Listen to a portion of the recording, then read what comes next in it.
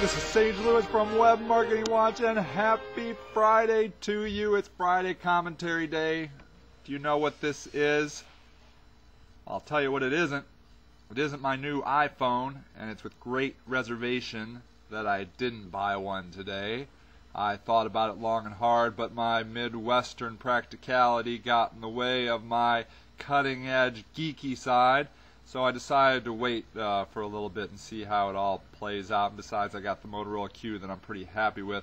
But I wanted to talk to you about the iPhone today from a web marketing standpoint because if it does catch on, like uh, Apple is hoping that it will, it has significant ramifications to your web marketing because people are going to be interacting with your brand online in ways that you had not anticipated.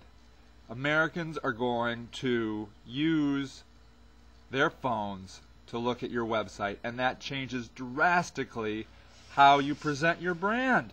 Because no matter how you cut it, a phone is still a phone. It is not a 15 inch monitor. And that is going to have significant consequences in how you design and how you talk to people and what they want to see online. Because they're going to have the internet with them all the time. So, think about it. This is uh, sooner or later, Americans are going to be using the internet on their phone. A lot of other countries are already doing it, and that's just simply because they don't have a wired infrastructure like America does. But it's handy. I use it all the time. I'm in a cab.